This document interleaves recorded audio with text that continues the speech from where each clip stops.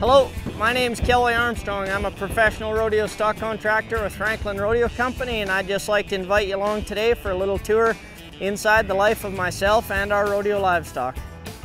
It's an endless job. It's just like a, uh, a manager, owner of a hockey team, trying to put together the best lineup of hockey players to win the Stanley Cup every year. Everybody thinks all the bulls are wild and mean and stuff like that. They're just a lot like everybody you know, they're just, they get used to me, they get used to riding in the truck, they get used to traveling. My grandpa once told me, he said, the fastest way to move cattle is slowly. You know, if we're calm, the livestock is calm. We know these animals, we've known them since they were born. We know when they're, when they're right, we know when they're feeling ready for competition and when they're not. Um, you know, we really watch and monitor, you know, these animals' intake of their feed and water and different things like that. And I mean, it's just like people, you know, whether they have that look in their eye that day or not, you know, is up to us. And so it's just kind of like a horse race in that respect. You know, we do have the right to deliver the scratches and selections.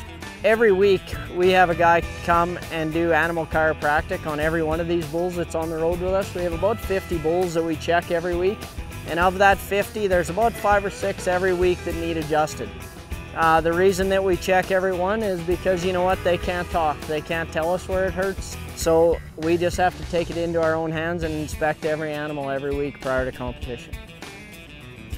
Well, it's quite interesting as anybody kind of comes around us and gets to know the livestock and uh, and really what the, the, probably the most surprising thing is is how people you know realize that all these animals do have different personalities.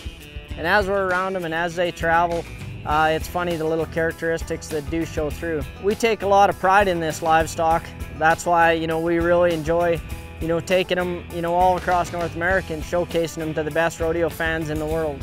That's why we, we spare no expense in taking care of these animals. They are our livelihood, they are our love. The animals are number one with us at all times. All right, guys, thanks for coming on tour today and uh, enjoying the day in life of a rodeo stock contractor and more importantly, just to see how, that, how we prepare our rodeo athletes for, for daytime competition.